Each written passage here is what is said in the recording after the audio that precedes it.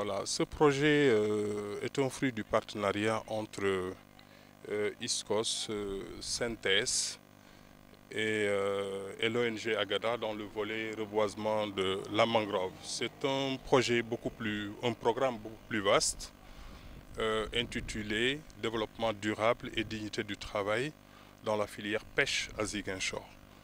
Donc, quand on parle de filière, vous comprenez donc que c'est un projet qui, touche la transformation de fruits et légumes, qui touche la production de glace, qui touche le renforcement des capacités techniques des acteurs de la filière pêche à Ziguinchor, et euh, voilà qui donc euh, prévoit un volet important parce qu'on ne peut pas parler de pêche sans nous intéresser en tout cas des habitats puisque la mangrove est un habitat pour la reproduction de, la ressource halieutique.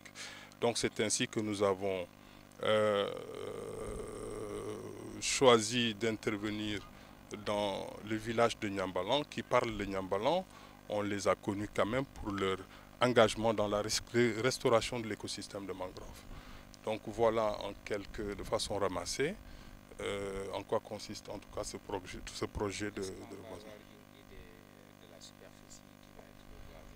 La superficie globale, c'est 40 hectares sur 3 ans. Donc euh, notre première année, donc en 2015, euh, a permis de réaliser 15 hectares. L'année dernière, 10 hectares. Et cette année, donc, euh, nous, travaillons en tout cas à réaliser 15 hectares, ce qui permet vraiment d'atteindre l'objectif attendu de restauration de, de, de la dans Nyambalan.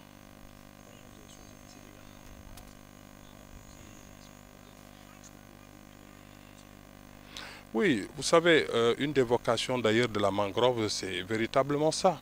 Pourquoi ces populations euh, interviennent pour reboiser la mangrove? Parce qu'elles ont constaté eux-mêmes que, euh, que les rizières sont en train d'être salinisées de plus en plus.